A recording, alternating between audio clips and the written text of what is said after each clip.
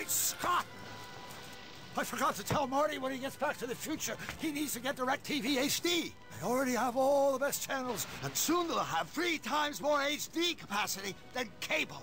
Impossible? That's what they said about my flux capacitor! For a future of 150 HD channels, get DirecTV.